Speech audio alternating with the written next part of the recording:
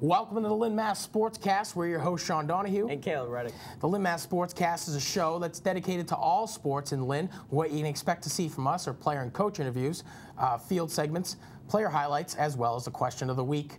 Um, today, we've got a pretty good show. Uh, Caleb, I've got Jake Canty from the North Shore Tides coming down to talk about his basketball team. Tell us a little bit about who you've got on. Well, I have a jam-packed sh show today, Sean. I have English girls basketball player coming on. I have a track star from Lynn Tech, and I have an English goalie. He's a freshman on the varsity hockey team, so it's jam-packed show, Sean. Very exciting stuff, especially as the winter seasons kick off in the wide world of Lynn sports today. There's lots going on. The Lynn Parks and Recs Department will offer a ski and snowboarding club at the Bradford Ski Area starting January 3rd. This will run through January, uh, February 7th and will go from 6 to 10 p.m. It's open to all levels of experience. You can contact Lisa Nerrick at 781-268-8000. Can't stress how great of a program that sounds like. Absolutely. Uh, it's very hard for people to get out in the inner cities to hit the slope, so I'm hoping this program takes off. As am I. Um, the St. Mary's boys hockey team would lose to Arlington Catholic 3 to 1 at Connery Rink. St. Mary's girls hockey defeated Archbishop Williams 1 0 in Randolph. Lauren Skinnian had 30 saves in this shutout. Also in hockey news, the Lynn Jets took on Latin Academy at Matthews Arena and won 6 0. The Jets also beat Salem 7 1 with a hat trick from freshman John Kosman. The Jets are now 2 0. Congrats, guys. Uh, the St. Mary's girls basketball team defeated Cardinal Spellman in Brockton with a score of 74 to 48. The Lady Spartans are headed to Florida this week to compete in the KSA Classic held at the ESPN Wide World of Sports Wow, in Disney. awesome. It's very exciting stuff. Uh, they went back in 2010 and won it all, so good luck to the Spartans. Good luck. Uh, hopefully, you guys can bring it back again. So, we're excited for our show. We got a lot of guests here. Um, we're hoping you at home are as well. Now, we're going to go to the Sideline Sportscast with Jessica Starbard.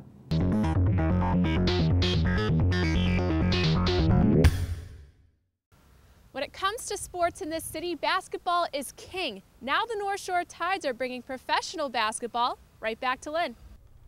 The North Shore Tides are a brand new semi-professional basketball team in the ABA, the same league that started careers like that of Dr. J. Now that the iconic league has been revitalized, the Tides are looking to make a name for themselves on the national scene. How have you felt the season's going so far? I think it's going really good. Um, I see the upside of the season. We got to stick together. If we stick together, we, we can make this thing work. We're ranked like top 25 right now, which is really, really good. You know, out of 70 teams, they have like power rankings, and we beat a few top teams already. Brand new team, brand new league right here in Lynn. How has the season been going so far? Uh, it's going well. You know, we got a lot of guys from the area coming together. You know, guys who played in NCAA Division One and some with professional experience. We kind of gathered them in, you know, to make a team. You know, to to compete. Uh, you know, in the uh, ABA, which is a semi-professional team in a 70 semi-professional organization and league that we're doing pretty well in. What's kind of the goal of this league? The goal is to, um, to build your resume. This is, like he said, you starting from the bottom, so this is a semi-pro team. This is where you um, get your, your first exposure, if you want to say, to, um, to expand to the next level. This is exactly what this ABA is for. For guys like himself that didn't get a chance to go to you know big major university, we still have something local, and he's still good enough, and he was working out, and he stayed in the gym. So now he get an opportunity. You know, there's thousands of basketball players, only like 300 positions. What's your experience coming into this head coaching position? Um, I played a long, I played a few years in the minors and a long time over in Europe. Um, I was a second round pick in '95. Um, I lasted for a few months, um, got hurt, and I took it over to Europe. But um, I've, I got a lot of experience in the minor leagues and uh, professional leagues. So this, this is pretty good for me, and it's a good experience. We're in the city of Lynn, and the city of Lynn has such a rich history, especially with basketball, and so much great talent has come out of here. What's it been like kind of going out in the community? I know you guys have gone to a couple of schools, and what's that been like kind of reaching out with some of the youth in Lynn? That's fun. It's just like you said, reaching out to the youth is key. You know, we went to a few schools. You see all the little kids smiling at you, and you know we're kind of big, so they're like, yeah, yeah, yeah, yeah. And again, it, it's for the future. What are your goals for the rest of the season? What do you guys want to see at the end of the tunnel? Championship, no less than championship. The championship is what, what we're looking forward towards. The only goal at the end is to get that championship. Will you accept anything less? No, it's championship or bust. There are still a ton of games left in the North Shore Tides season. Make sure you check out their Facebook page or northshoretides.com to learn more. For Lynn Mass Sportscast, I'm Jessica Starbard. Welcome back, Jessica. Thank you very much. Um, North Shore Tides is definitely a pertinent thing, seeing as the winter sports season is kicking off. And ironically enough, we have uh, the North Shore Tides owner, Jake Canty, here with us today to talk a little bit about what their program is about and why they exist. Jake, thank you for being here. Thank you for having me. Awesome news. Um, we learned a lot of stuff from that field segment. Uh, we got to meet some of your players. Uh, we met your coach. We saw where you practiced. The North Shore Tides, their first year. Tell us a little bit about the team. Okay, so um, this is our first year in the ABA. We're an expansion team.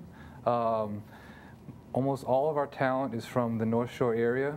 Um, we we have about eight players from the city of Lynn, and the rest from like Danvers, Salem, and all around the North Shore. Um, we've been competing in the ABA. Uh, right now, our record's seven and two. We started back in November for our first game. Um, it's a competitive league.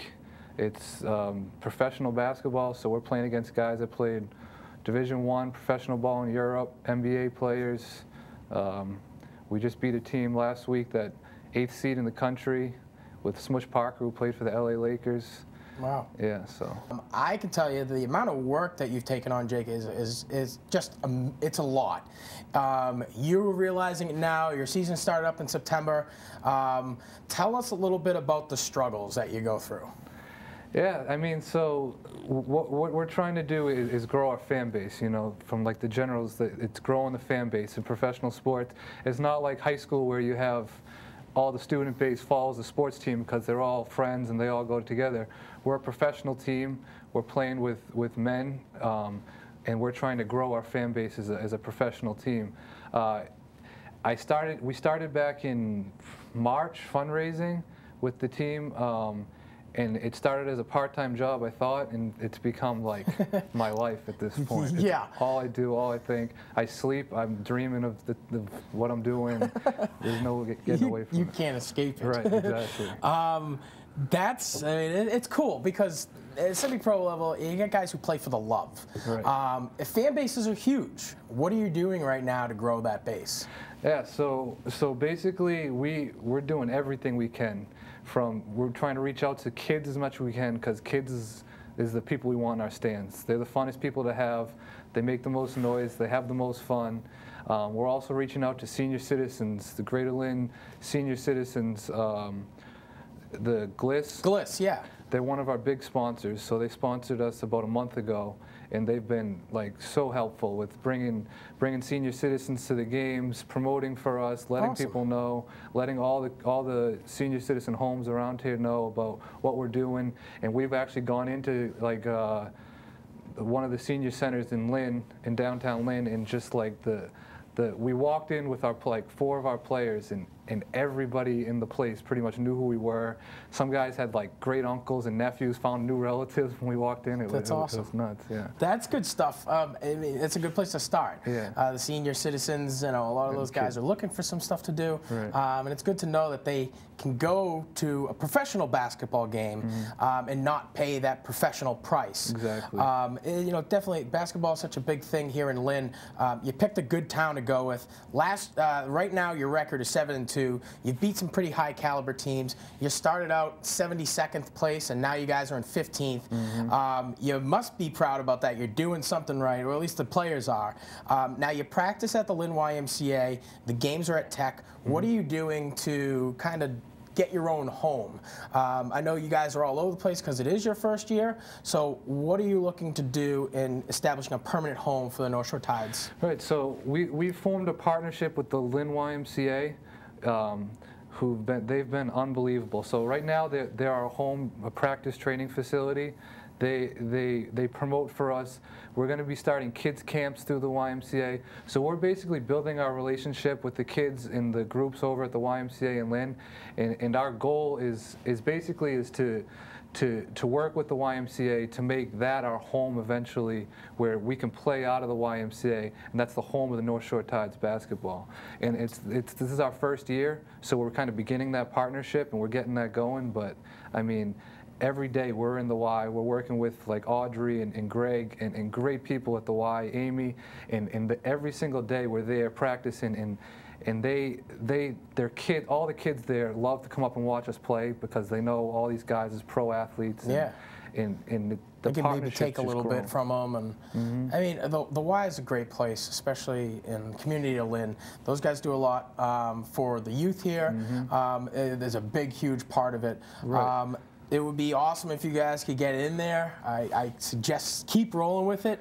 Um, let's talk a little bit about the league, the ABA. Um, this league has some history. There are some guys who we all know of who have played in this. Tell us about that.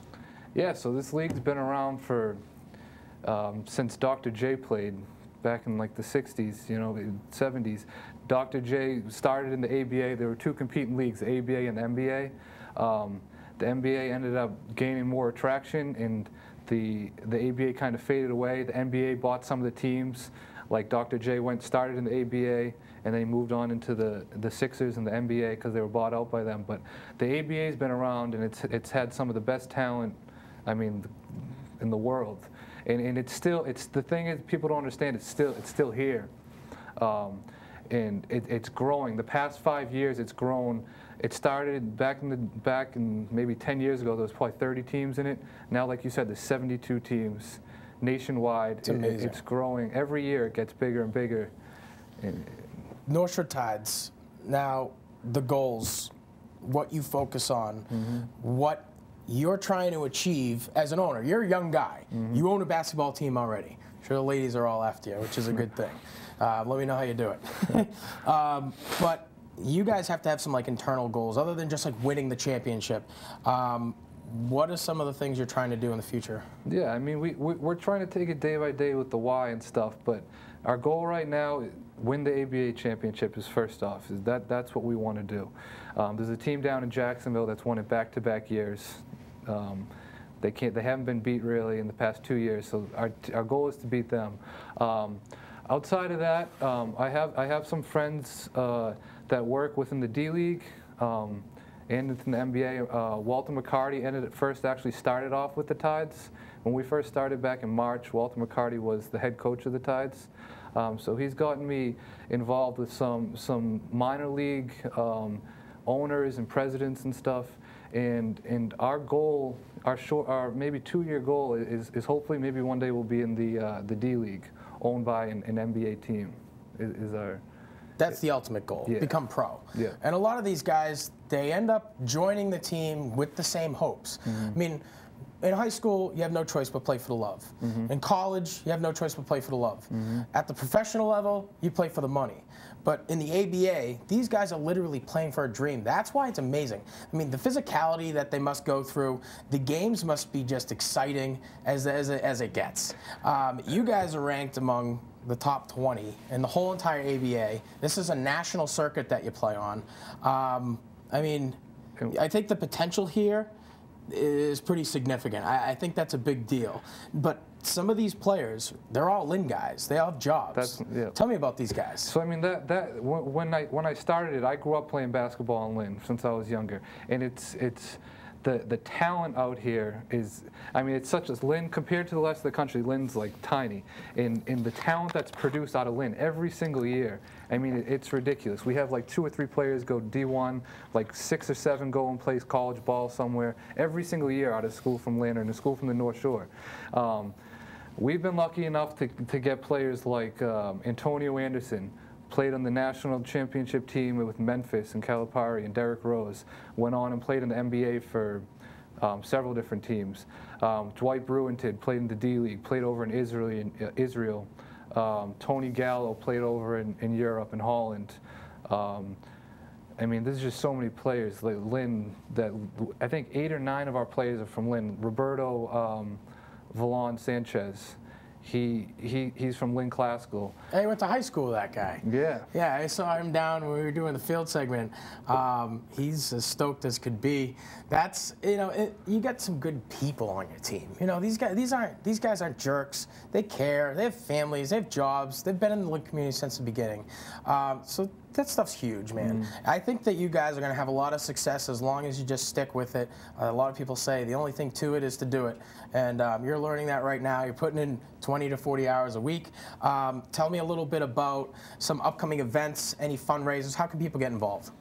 Yeah, so I mean, we want we want we want people. I mean, it, people need to. We want people to come out and see the, what we have. We have the best the best basketball you'll ever see around here, and it's for a cheap price. So that that's our main thing is is is pay, is getting fans to come out and see professional basketball for extremely cheap price, and they're going to have a lot of fun while they're there.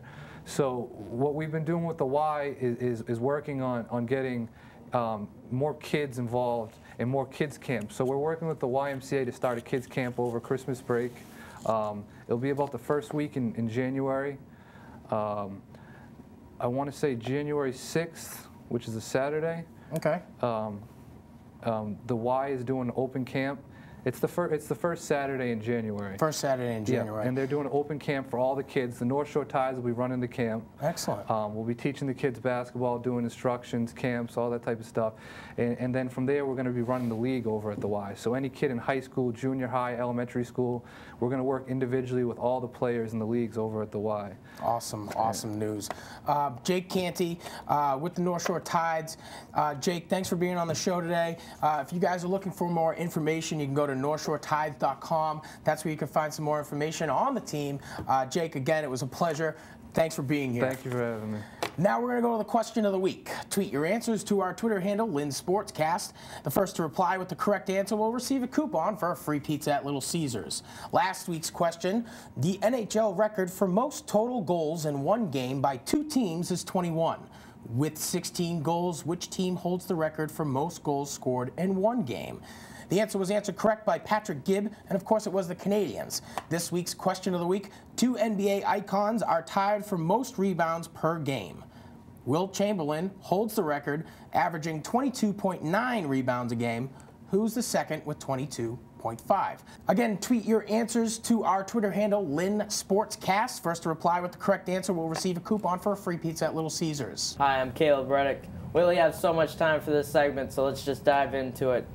Here today we have from Lynn Tech, we have um, Leshawn Snow, and from English we have from the English basketball team Deidra New- Newson, and also from English hockey player Matt Cole. All right, let's just start off. Leshawn, you're over at Tech. How do you like it? Uh, it's pretty good. It's pretty good. Yeah. You're you're a track player. Uh, yeah, run the 50 and I occasionally do the relay at sometimes. What are some characteristics that you would need to run a 50? What what do you need to do? Uh, you just have to have the speed, the momentum, and stamina to run the 50. How is Tech's tra- track team? How did they do last year? Uh, not too good. Like individually, we had a few good people, but that was really it, and we wouldn't like. So win. how are you guys gonna come back this year to improve? Uh, we're gonna play harder, um, run faster, and make sure we can finish the race. What are some things in practice that you can work on to improve yourself? Well, just keep on running and um, just keep on running. Do you That's have it. certain drills? Well, you would like, you would see how your starts go. You'd make sure you get your starts right, Mm-hmm. and make sure you get that right burst of energy to run through. How is the coach over there? He's been there for four years, correct? Yes. he's How do you a- like him? He's a really good coach. He's been coaching me for four years, like you said, and I like him a lot.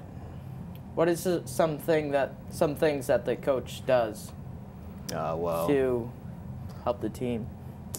well, he um, tells us all to keep coming to practice, and if we keep coming to practice, we'll get better as a team and as a whole. And yeah, You're also a captain over at Tech. How did how do the coaches pick captains? Uh, well, the coaches pick off people that are responsible and that will lead the team and make sure that things get done and they're responsible. Deidra, you're over at English. How do you like it there? Um, I kind of like it. I mean, the I like the athletics more than I like the school, but the athletics. English had a great team last year, right? yeah. Um, you guys won the St. Mary's Classic. You guys made it pretty far in the playoffs. How are you guys looking this year? Um, we're looking pretty good this year. We have a strong, solid um, first four, which are the, fir- the four captains. They're very solid and strong. Um, we should go pretty far this year. hmm What are some things in practice that you can do to work on your stuff and keep up what you guys did last year?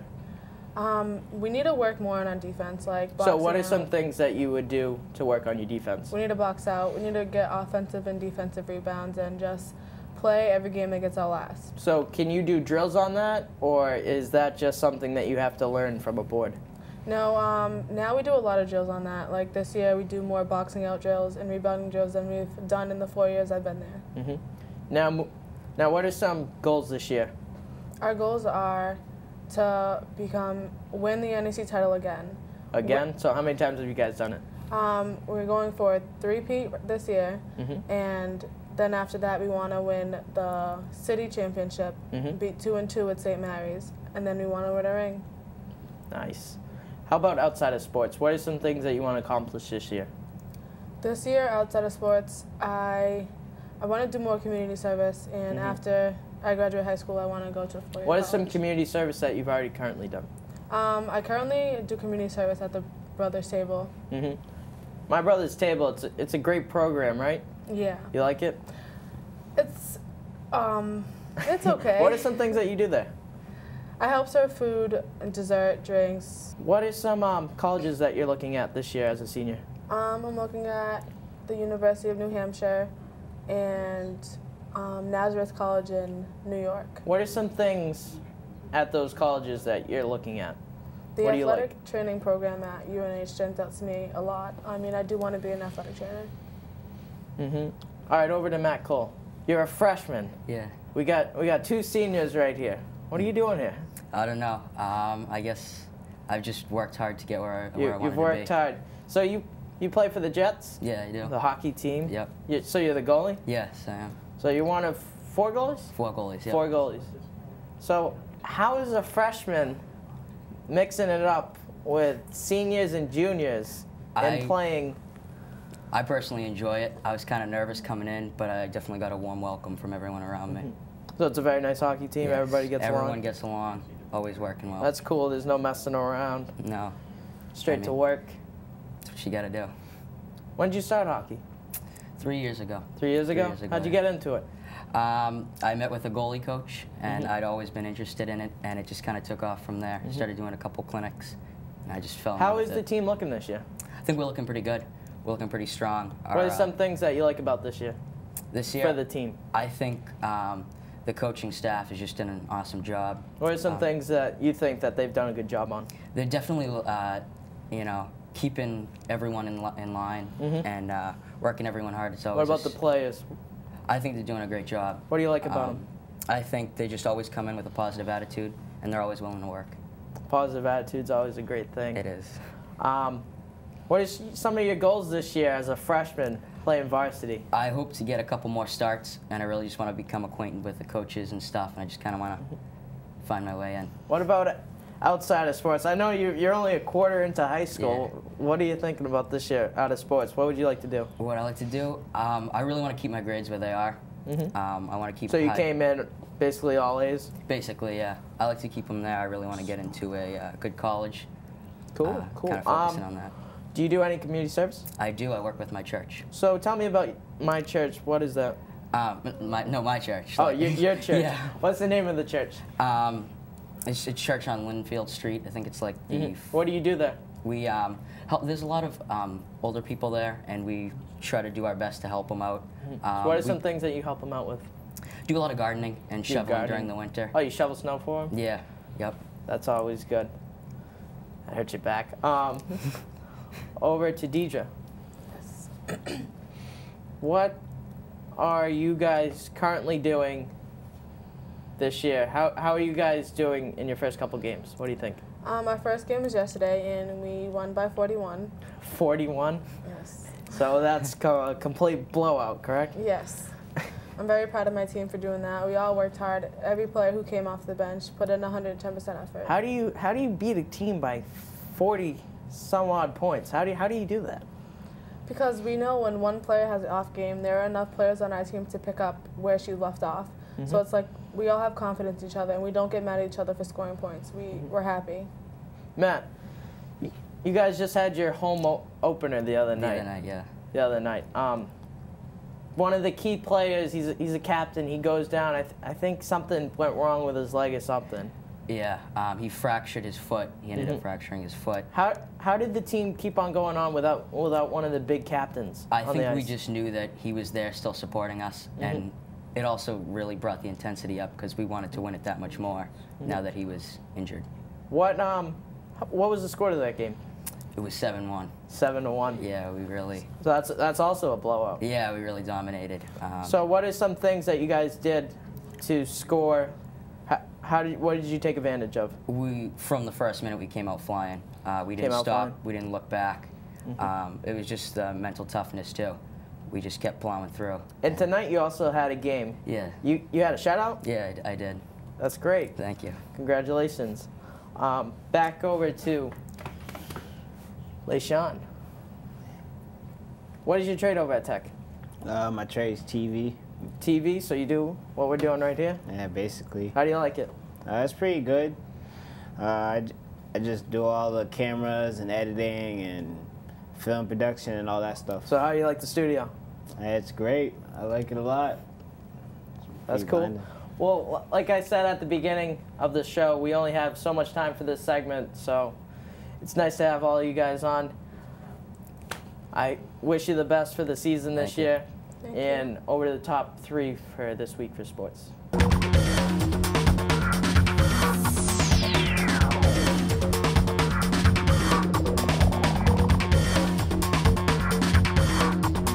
Rudolph shot, no good.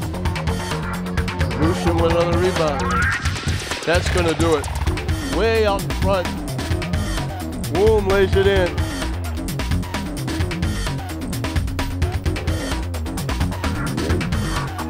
Third time in the game that Notre Dame has had a one-goal lead. Bouncing puck, Callahan scores! It bounced and Callahan just took a swipe at it and knocked it in.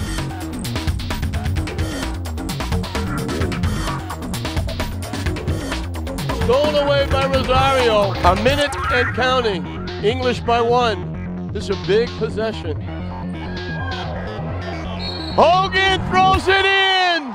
Well, that's our show for today. Thanks for watching. Uh, make sure you know next week we won't be airing because it's the holiday season. Uh, we will be back first Thursday in January. Merry Christmas, everybody! Happy holidays. Happy holidays. Uh, for any feedback, you can find us at www.lynncamtv.com slash shows slash linmass sportscast or on Twitter at Lynn Sportscast. From Lynn Mass Sportscast, we're your host, Sean Donahue, And I'm Caleb Reddick. wishing you all the best.